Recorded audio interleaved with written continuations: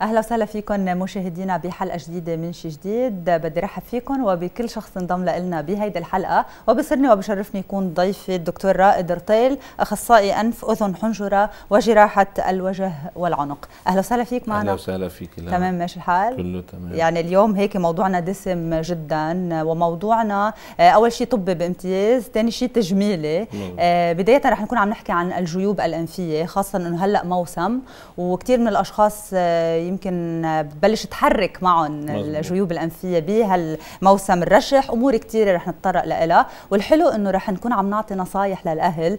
إذا في طفل عم بيعاني من الجيوب الأنفية شو عوارضها ليتوجهوا لعند الطبيب المختص؟ والشق الثاني من حلقتنا اليوم رح يكون بالعنوان العريض؟ وهيك ثلاث أسطر تحت هالعنوان بين التشويه والتجميل 12 سنة. طب, طب. يعني قد إيه هيدي بتقهر اليوم؟ إذا نحن كمستمعين اليوم حضرتك كطبيب 12 سنة من الدراسة تعب وسهر الليالي وكنت عم تقلي الغربة مزبوط وتعب الغربة وبالنهاية بينتهوا بيومين. بيحصلوا على شهادة ما بعرف بحطوها يعني على الحيط بيومين وبصير في مشاكل كثير رح نحكي فيها نحن وياك دكتور رائد ولكن خلينا نبدأ بالجيوب الأنفية نعرف الناس عنها أكثر هلا هي الجيوب الأنفية مصطلح كبير. هلا بينقسموا ل aigu chronique يعني مزمن وحاد. آه إذا كان الحاد خلال ست أشهر عالجناه يعني بهذه المرحلة ما بيتحول ل chronique أوكي. آه إذا ضلهم ما يتعالج مزبوط يعني العلاج المزبوط بيتحول ل chronique بعد ست أشهر تقريبا. وهون بتتضخم الغشاء المخاطي تاعول الجيوب الأنفية. آه بيختلف أسماء الجيوب الأنفية بين الماكسيلار يعني تعول الحنك السفنيودال تحت الراس في في كذا نوع. فكل آه كل مشكلة لها عوارضها.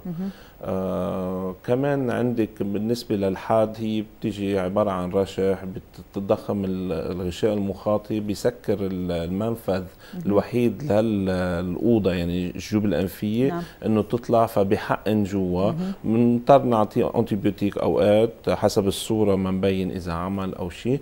آه وتصاصات التصاصات أنا بدي شد عليها عشان كرمال هي أهم شيء بعلاج الجيوب الأنفية. حتى بدي أقول شغلة كمان كثير مهمة إنه أساس مشاكل الرواية هو المنخار ومشاكل الدينان والحنجرة هو المنخار إذا بتشوفي بالكورونا قالوا إنه ببلش بالأنف صح. بفوت على الحنجرة وبيرجع بينزل على الروايه نفس الشيء كل المشاكل. مم. فإذا حافظنا على نظافة المنخار هي بتمنع عنا كثير أمراض. هاي. كيف بدنا نحافظ؟ هي عبارة عن سبراي المي والملح. مم.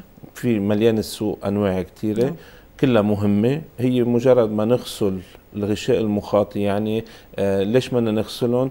آه نحن بنتنفس هواء اسم الله نظيف يعني هنا بلبنان خاصة هلأ بكورونا يعني فالميكروب أو الأوساخ اللي بدها تفوت على الأنف بتبقى طيب. على الغشاء المخاطي فالصبح لما بدك تروح على الشغل مثلا بتنظفي بيرجع الظهر لما تي أو بعد الظهر بس ما تيجي من الشغل بيكون نعم. كل الهواء اللي تنفستيه أثناء النهار والعمل نعم. كمان بتغسليه بتنظفي وبالليل قبل ما تنام بتنظفي هيدا عامل كتير مهم ما بخلي الميكروبات أو الأوساخ اللي يعني نحن عم نتنفسها تبقى على الغشاء المخاطي. طبعا. وين بنروح؟ بننتقل ل أول شيء بنظهرهم كمان في تصاصات عبارة عن كذا تصاصه هي صح إنه فيها كورتيزون بس أكيد ما رح تنصح وما بتنصح. وبرجع هذا السؤال اللي دائما بيسألوك مزبوط. لو بدنا نستعملها ست أشهر نعم. ما بتنصح آه هيدي في حالات الطبيب هو بيوصفها أكيد ومش إنه المريض هو اللي يوصفها لحاله. وهون كمان بشدد عليها. نعم. أه برجع بقول إنه مجرد ما ننظف هيدي المنطقة لحالها بتخفف عنا عوارض الجيوب الأنفية. نعم. وكمان عندنا نوع من الحساسية للجيوب الأنفية هي بتيجي موس موسمية. بالضبط. قبل ما انتقل لهيدا الموضوع اليوم عم تذكر موضوع المي والملح والكرمال الانف خاصة نحن كورونا يعني عامل أزمة كثير كبيرة. فعلى صحة السلامه اليوم في الواحد ياخذها يعني هيدا أنا هي عم بحكيها يومية فيك تعملها. يعني إنه آه، فيك حتى مريض مش مريض فيك تعمل ملح تضرك مزبوط يعني مزبوط. مثل واحد عم بيغسل إيديه بالنهار فمنا ضرر بالعكس هيدي مفيدة صح. وملح تأذي وخاصة إنه السبرايات تاعون المي والملح ما بدي إذكر أسماء موجود كثير موجود كثير ومنا مضرة يعني أبداً. نسبة الملوحات اللي فيها بتكون خفيفة وفي منهم بيكون فيها مواد الكترولايتس أكثر ممكن تفيد آه أكثر فهيدي الطبيب هو اللي بيوصفها هو اللي بيعرف فيهم.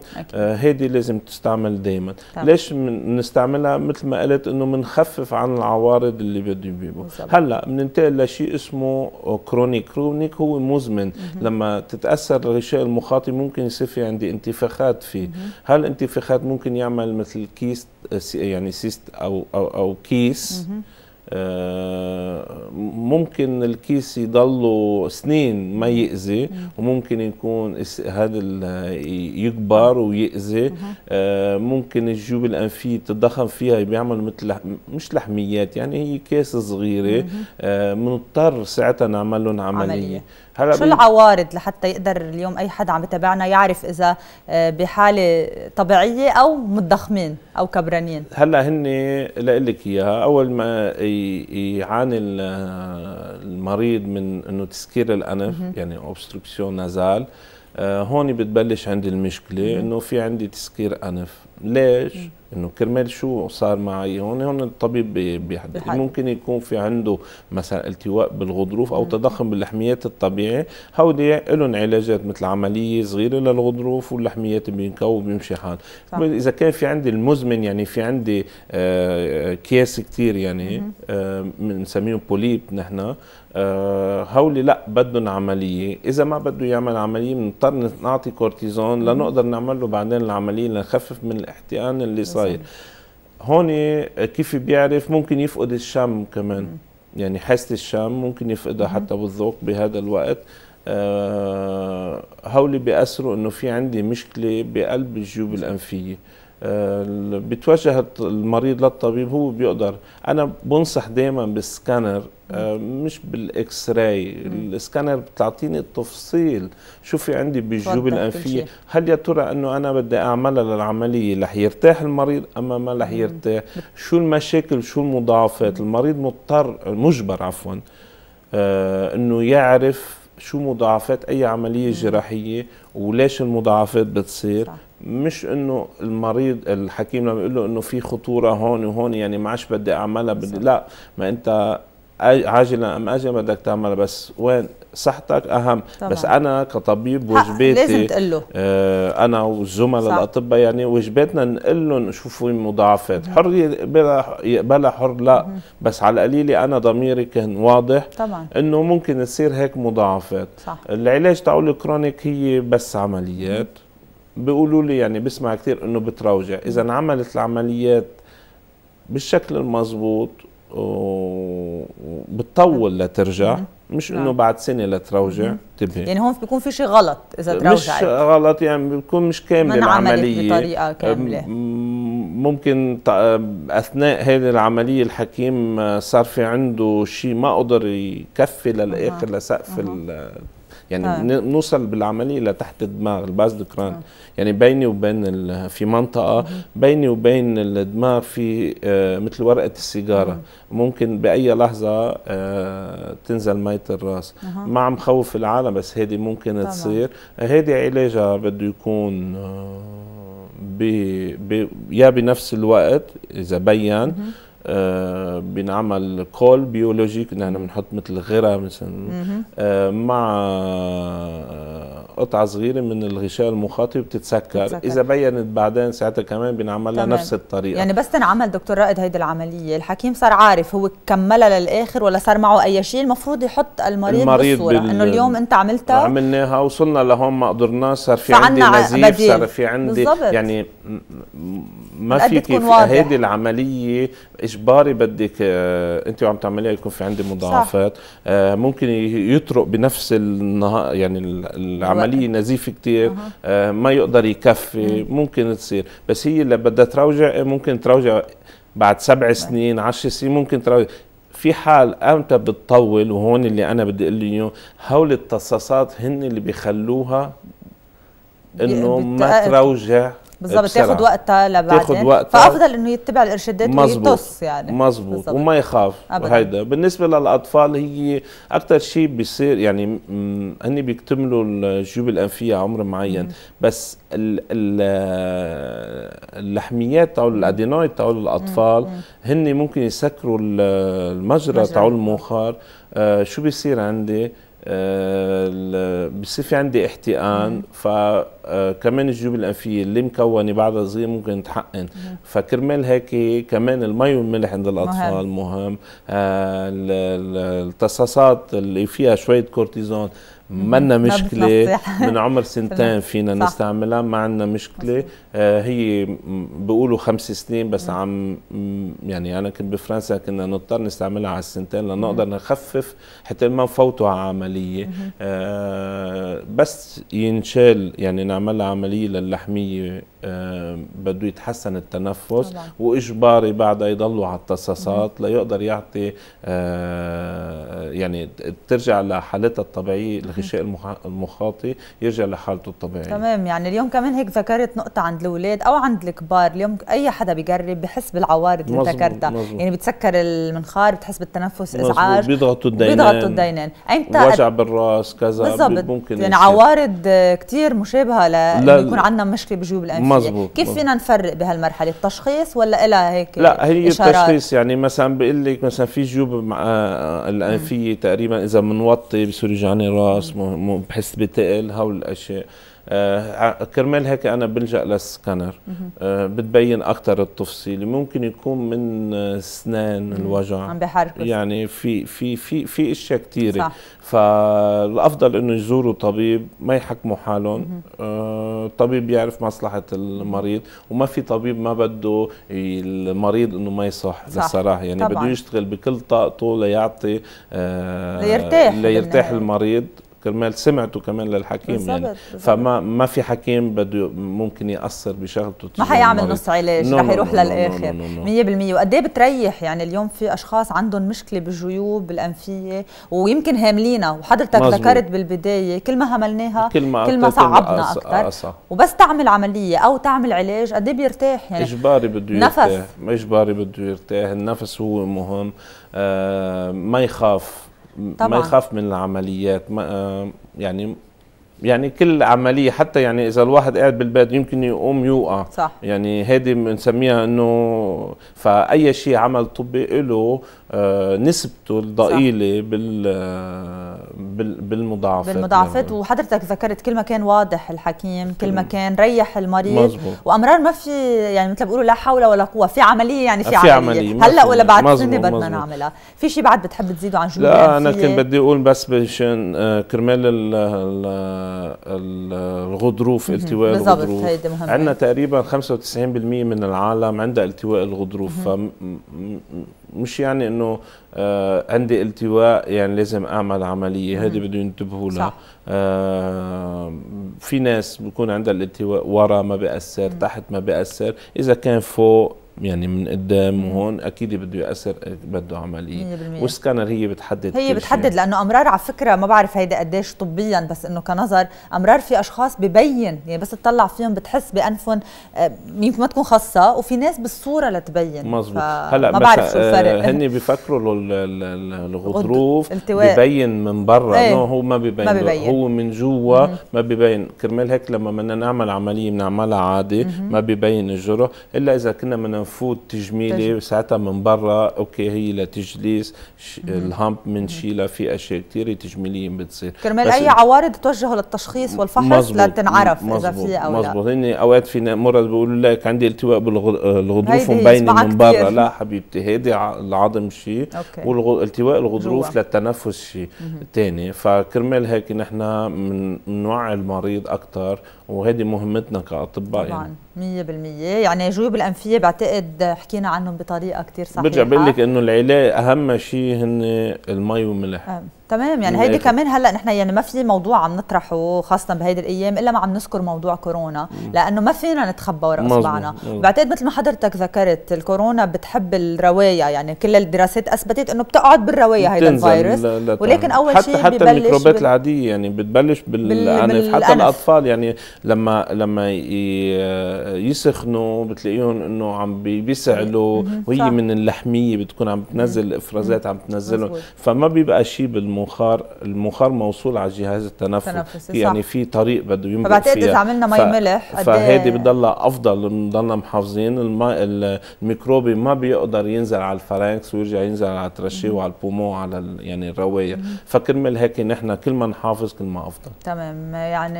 إن شاء الله بضل كل الناس بألف خير دكتور رائد. وبيحموا حالهم. يمكن هيدي انضمام للإرشادات غسيل اليدين نلبس الكمامة ونقدر نحن ننظف يعني ما أكيد. أكيد يعني إن كان في كورونا ولا ما في كورونا هيدا الشيء آه إنه لازم نستعمله 100% يعني أكبر دليل هلأ يعني مؤخرا كمان حكى بموضوع التمخمط خلينا نسميها أو آه تنظيف الفم, الفم. بال... بال... نفس الشيء يعني بعتقد الأنف والفم.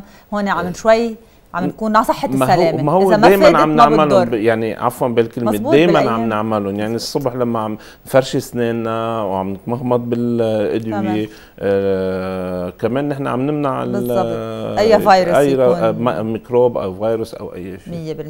100% لكن لنكون هيك بالقسم الثاني يعني تقريبا هيك معنا شي 10 دقائق نحكي فيه بين التشويه والتجميل 12 سنة. طب اليوم هذا الموضوع انحكى فيه آه، أخذ ضجة كثير كبيرة وفي دعوة يعني كمان مزبوط. لكل مزبوط. شخص بخالف كل شخص بيعمل بيفتح على حسابه خلينا مزبوط. نقول وبيأذي حياة الناس يعني مزبوط. والتشويه عم بيصير فيه كثير قبل ما نحكي عن الدعوة بس نقلنا شوي للأجواء آه شو عم بيصير؟ شو عم بيصير؟ اللي عم بيصير إنه آه عدم خوف العالم من من القانون والعقاب، يعني معتبرين إنه ما في دولة وقفت علينا فماشيين هيك.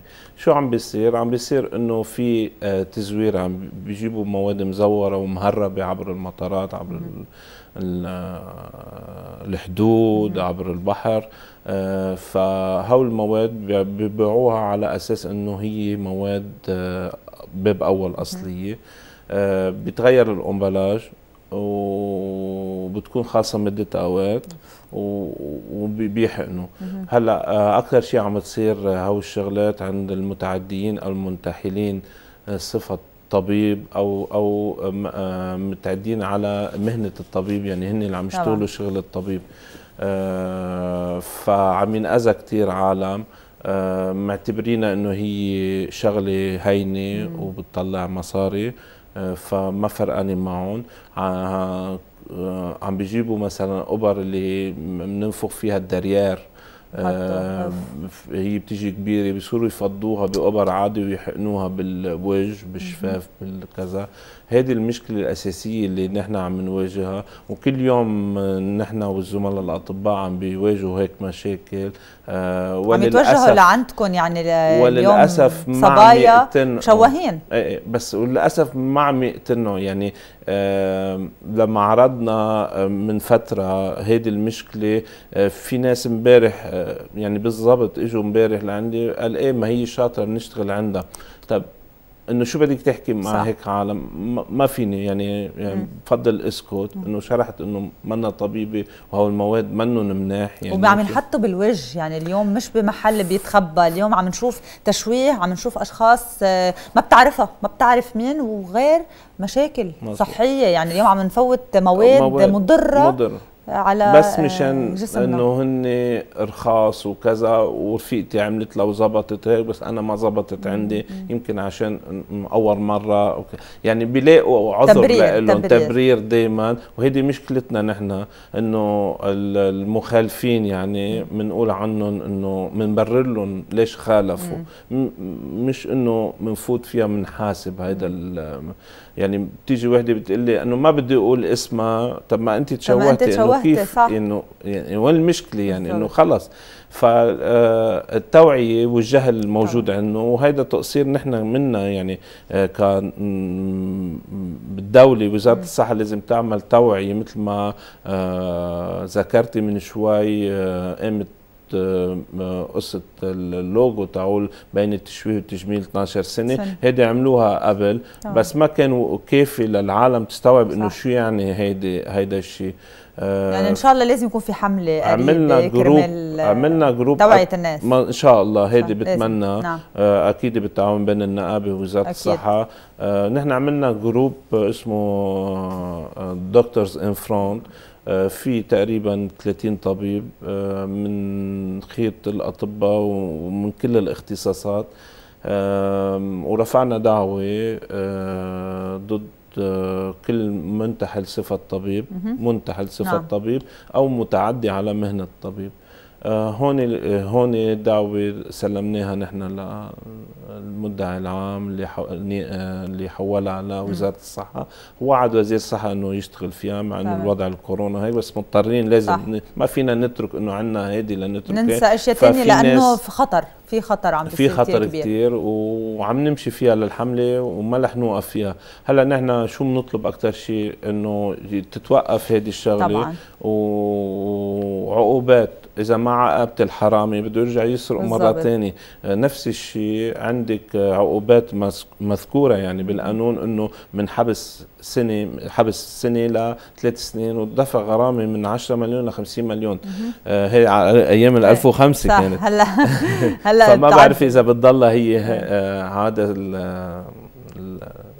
حسب السعر السعر صرف الدولار. صرف الدولار هلا ففي عقوبة وهذه لازم تتخذ يعني الح... لازم. المنتحل صفه لازم يحاسب. وهذه نحن من بنعول عليها لوزير الصحة الحالي والمستقبلي.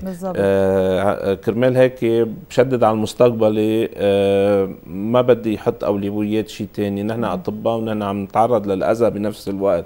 ونحن بهالدعوه متحملين كل شيء ممكن يصير علينا. يعني ممكن يشوهوا لنا سمعتنا عم نحارب الفساد ممكن يأذونا نتعرض للضرب لأي شيء الثاني لأنه لأنه ملف خطر بس ملف ضروري إنه ينطرح مزبوط. اليوم آه وأنا بالعكس بدي أشكرك يعني اليوم حبيب. لأنه دكتور رائد فيك ما تضوي على هذا الموضوع. في كل حدا بيدفع ثمن غلطته لأنه اليوم كمان الناس آه عندها اللوم الكثير كبير. اليوم أي ست عم بتتابعنا اليوم لازم تكون هالقد منتبهة إذا بدها إبرة تنحط بوجهها أي شيء يجب أن ما هي مثل تسأل. الأكل شو بدك تعرفي شو بدك تاكلي نفس الشيء. وتروح عند الشخص المختص يعني مثل بيقولوا اعطي خبزك للخباز لو اكل نصه. وعلما إنه يمكن بدها ساعات معنا دقيقة علما عم يدفعوا ناس كتير. تكلفة كثير كبيرة. أكثر من الحكماء أكثر من الحكماء فعن جد يكونوا هالقد منتبهين. وأي عملية بدها تنعمل تروحي عند طبيب مختص وكمان بدي أنا طلبنا من السياسيين نعم. اللي بيتغطوا تحت أسمائهم المتعديين والمنتحلين صفة نعم. طبيب يشيلوا ما ما يدعموا أي حدا وما يردوا على أي حدا فساد فساد طبعا لازم نحاربه آه، إن شاء الله بيوقفوا معنا بهذا الشيء وأنا بتشكرك إنه أنا بدي أشكرك. يعني هيدا الموضوع أصلا يمكن انطرح هلأ بس إذا حدا بيروح للحلقات السابقة ما بعرف من كم سنة من 2013 أنا وياك بحلقه بالضبط حكيت عن هيدا الموضوع أنا بتذكر الموضوع وحكينا إياه بالتفصيل بس وحتى فرجينا صور يعني مزبوط لا حياه لمن تنادي يعني كان. هلا خلينا نشوف شو بركي هالدعوة بتلعب دور كثير كبير وبيتعاقب كل شخص عم يأذي الناس ما عليه مصلحته. بس للمادة ليربح هو يأذي الآخرين هيدا عن جد لازم ينحبس آه، للأسف بدنا نكون عم نحكي بهالطريقة بس عم تنزع حياة أشخاص كثير يعني 12 سنة عم تتحول ليوم ويومين دورة حرام. عند شو اسمه؟ حرام. عند أي حدا. والشهيد عم تيجي اونلاين مزورة 100% يعني. نحن رح نحط الإنستغرام الخاص فيك على أسفل الشاشه بيقدروا الناس يفوتوا ويشوفوا أمور كثيره وحضرتك من الأشخاص كثير صريح أي مواد بدك تحطها يمكن بتفرجيها العلبه وبتفرجيها شو مكتوب وكل تاريخ الانتهاء وكل شيء وختم وزارة الصحة. تمام. مش بس أنا كل الأطباء هن هيك عم يعملوا ولازم يعملوا طبعا أنا بدي أشكرك عن جد. أهلا وسهلا فيك معنا. ويعطيك ألف عافية لك ولكل طبيب هالقد عنده ضمير وإنسانية. درستوا وتعبتوا يمكن حقكم اليوم تناضلوا وحقكم اليوم تدافعوا عن مهنتكم وإلا ما يتعب يشقى الواحد مزبوط. للأسف. فبدي أشكرك. أهلا وسهلا فيك معنا. دكتور رائد رتيل أخصائي أنف أذن حنجرة وجراحة الوجه والعنق شرفتنا. مشاهدينا لهون بنكون وصلنا لختام هيدي الحلقة من شي جديد. موعدنا بتجدد معكم بكرة بنفس الموعد فكونوا كتار. إلى اللقاء.